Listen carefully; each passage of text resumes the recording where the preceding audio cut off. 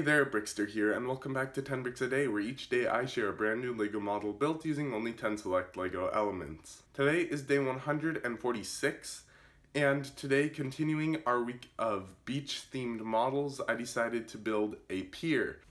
Alright, here is our model. So, um, as you can see here, this is a micro scale design, and we have here the ocean and the beach back here, and this brown 1 by 4 uh, going through there represents the pier. So up here, um, we have our Ferris wheel, and that is just built up using this wheel piece attached to this.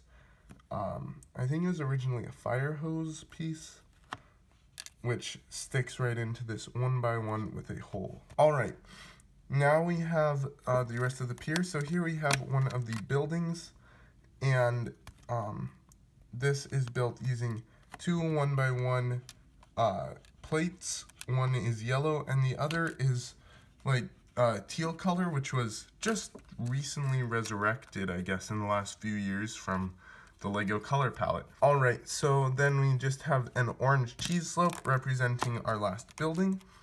And then as you can see, the ocean is built with two 2 by 3 uh, plates. The sand is built with a 1 by 3 plate, and then our pier is a brown 1 by 4 plate. Alright, so as you can see here, this model does include exactly 10 bricks, and we can really quickly reassemble this.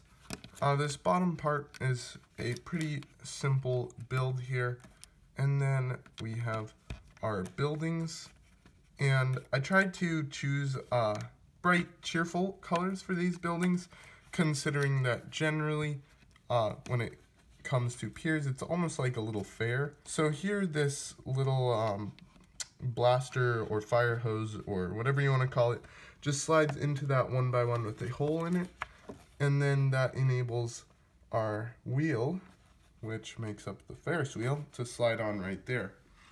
So I think that this model turned out looking pretty cool.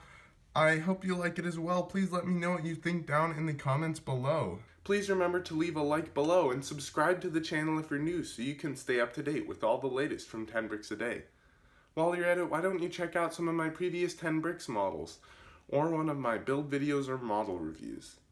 Thanks so much, and I'll see you again tomorrow.